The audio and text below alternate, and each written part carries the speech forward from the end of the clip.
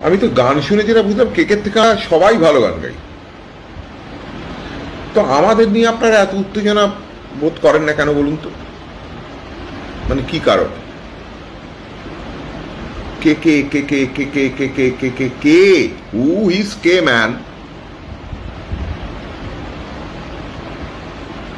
we are better than any K তো তোমরা সবাই দেখতেই পেলে যে হুইস কে কে ভিডিওটা এক্ষুনি দেখলে যে উনি বলছেন হুইস কে কে তো যিনি এই মন্তব্যটা করেছেন, তিনিও কিন্তু একজন সংগীত জগতেরই মানুষ। তো তিনি একজন সংগীত জগতের মানুষ হয়ে আরেকজন সংগীত জগতের মানুষকে এরকম মন্তব্য করতে পারেন, সত্যি আমার জানা ছিল না। সত্যি আজ বাঙালি হয়ে নিজেকে এতটা ছোট মনে হচ্ছে যে মানে আর কিছু বলার নেই।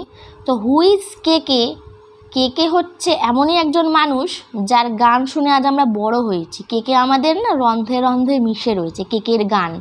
সে ভালোবাসার ক্ষেত্রে বলুন, বন্ধুত্বের ক্ষেত্রে বলুন, বিচ্ছেদের ক্ষেত্রে বলুন, সব দিক থেকেই আমাদের কেকের গান আমাদের সঙ্গে অত্যপ্রত্যঙ্গভাবে জড়িয়ে রয়েছে। তো সেইখানে দাঁড়িয়ে আপনি একজন সংগীত জগতের শিল্পী হয়ে আরেকজনকে কি করে এরকম ধরনের মন্তব্য করলেন সত্যিই সেটা ভাববার বিষয়। আপনিও একজন শিল্পী উনিও একজন শিল্পী। উনি ওনার মতো করে গান করে, আপনি আপনার মতো করে গান করে। ওনার আপনি নখের যোগ্যও হতে পারবেন না। উনি যা গান করে, আমি সত্যি কথা বলতে, আমি আজকে বলতে বাধ্য হচ্ছি যে আপনি ওনার নখের যোগ্য হতে পারবেন না।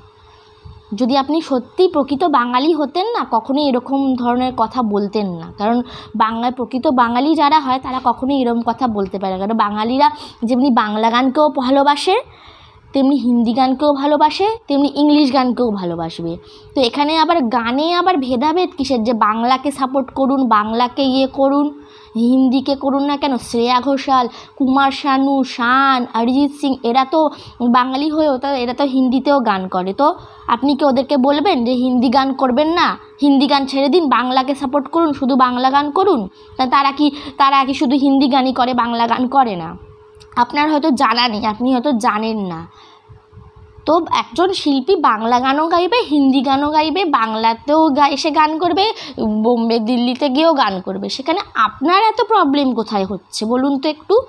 আপনার তো ওই মিও আমরে, ওই একটা কি ফালতু মার্কা একটা গান? মিও আমরের দোকানে গেলেই আপনার ওই গানটা মনে পড়ে যায়, কেক প্যাটিস কিনতে গেলে। আপনি আপনার ওই গান আর আর কেকের গান কোনোভাবেই তুলনা হয়? হ্যাঁ এইটা বলব না যে আপনি, আপনারও কিছু গান ভালো আছে যেগুলো সত্যি গভীরে যাও, এ তুমি কেমন তুমি, সত্যি ওই গানগুলো সত্যিই খুব ভালো লাগে, আমারও ভালো লাগে আমি ওই গানগুলো শুনতে পছন্দ করি। আপনাকে আমি এর আগে কখনো আপনাকে এরকমভাবে ভাবিনি যে আপনার সম্বন্ধে খারাপ মন্তব্য কিছু বলব, কিন্তু আপনার এই ভিডিওটা দেখার পরে সত্যি আমার মুখ থেকে আপনার সম্বন্ধে ভালো কিছু বেরোচ্ছে না। কারণ বিশেষ করে মানে তার যখন থেকে দেখছি কে কে আর নেই, তারপর আপনার যখন ওই ভিডিওগুলো দেখছি, হয়তো ওটার সঙ্গে আপনার, ওটার কোনো লিঙ্ক নেই, কিন্তু আপনার এই ভিডিওটা দেখে বারবার মনে হচ্ছে, সত্যি আজ বাঙালি বলে নিজেকে অনেক ছোট মনে হচ্ছে। আপনি একজন সংগীত শিল্পী হিসাবে এরকম একটা কাজ করলেন, আপনি একবার ভাবলেন না যে একটা একটা মানুষ চলে যায়, কিন্তু এই কথাগুলো থেকে যায়। আপনি যে আপনার ভিডিওতে কতগুলো বা সিঙ্গারের নাম নিয়েছেন, বাঙালি সিঙ্গারের, কিন্তু আপনি কি তাদেরকে একবারও জিজ্ঞেস করছেন তারা আপনার সাথে একমত কি না তারা তো আপনার সাথে একমত নাও হতে পারে। আপনি কি হিসাবে এই কথাগুলো বললেন বলুন তো? তো দেখতেই পেলে আবার এখানে আবার বলছে যে বোম্বের পিছনে ঘোরাঘুরি বন্ধ করুন। মানুষ কোথায় ঘোরাঘুরি করবে? এই যে আপনি যে কেকের কথা বলছেন হুইজ কেকে? আপনি কেকের থেকে অনেক বেশি ভালো গান। ওই তো আপনার ওই মিও আমরে গান। আর আপনাকে কে অধিকার দিয়েছে তুলনা করার যে আপনি ওনার থেকে ভালো গান বা বাঙালির যারা সিঙ্গার তারা আপনার থেকে ভালো গায়, এক যে যার সে যার জায়গায় ভালো গান করে।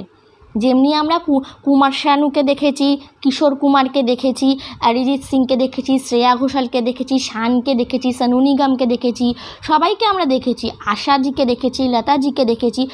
তিনিও যেমন তাদের জায়গায় আলাদা তারা।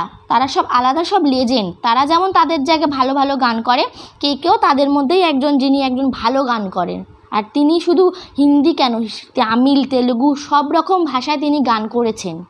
তো আজ আপনি বাংলাকে সাপোর্ট করতে গিয়ে, বাংলাকে তুলে ধরছেন, বাংলাকে ইয়ে করতে গিয়ে আপনি আজকে বাঙালির কাছেই ছোট হয়ে গেছেন। সমস্ত বাঙালি জাতির কাছে আপনি আজ ছোট হয়ে গেছেন। সেটা হয়তো আপনি বুঝতে পারছেন না। সেটা হয়তো আপনাকে ভালো করে বুঝিয়ে দেওয়াটা দরকার যে বাঙালিরা কখনোই সংগীত গানের কোনো ভেদাভেদ হয় না। গান হচ্ছে এমনই একটা জিনিস যা মানুষের মন ভালো করে। মানুষের সুখ দুঃখের সাথী। মানুষের কাছে প্রেম, ভালোবাসা, বন্ধুত্বের সাথী গান। গানে কখনো ভেদাভেদ হয় না যে গানে বাংলা গানকে শুধু সাপোর্ট করা হবে, হিন্দি গানকে করা হবে না বা হিন্দিকে করা হবে, বাংলাকে করা হবে না বা আরও আদার্স কোনো গানকে করা হবে না। আপনি কি হিসাবে যে এই কথাগুলো শুধু বললেন যে বাংলাকেই সাপোর্ট করুন, বাংলা হিন্দি গানে আবার বাংলা হিন্দি কী? মানুষ সব রকম গানই শুনবে, সব রকম গানকেই ভালোবাসবে। আপনি শুধু যে বাংলাকেই ভালোবাসবে তার তো এরকম কোনো ব্যাপার নেই। আপনি একজন বাঙালি হয়ে আজ সমস্ত বাংলার জাতির কাছে ছোট হয়ে গেছেন।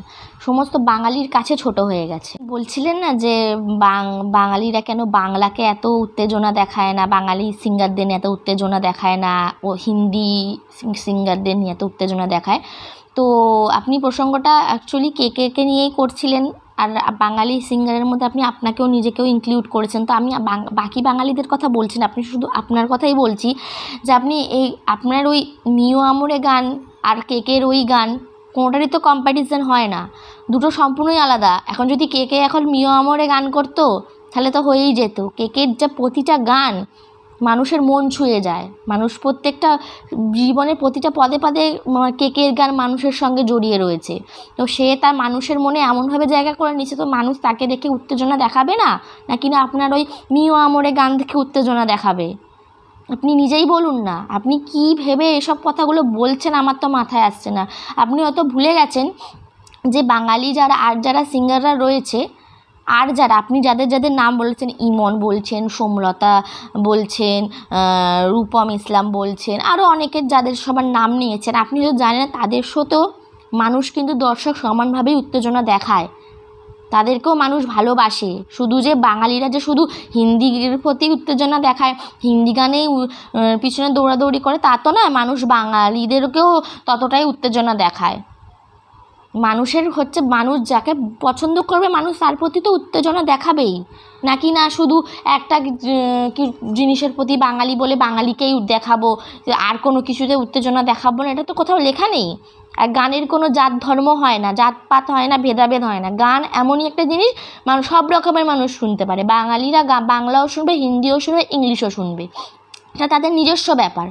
আপনি বাংলাকে সাপোর্ট করুন ইয়ে করুন, আপনাকে অত কিছু বলতে হবে আপনি যদি প্রকৃত এক সর্বশেষে একটাই কথা বলব, আপনি যদি প্রকৃত মানুষ হয়ে থাকেন, প্রকৃত বাঙালি হয়ে থাকেন না, একবার দয়া করে লাইভে এসে যেই মানুষটা হয়তো সেই মানুষটা নেই, আপনি হয়তো তাকে আর জীবনে তাকে কোনো দিনও ক্ষমা চাইতে পারবেন কিন্তু অন্তত বাঙালিদের কাছে ক্ষমা চান যে ভুল করেছেন আপনি একটা।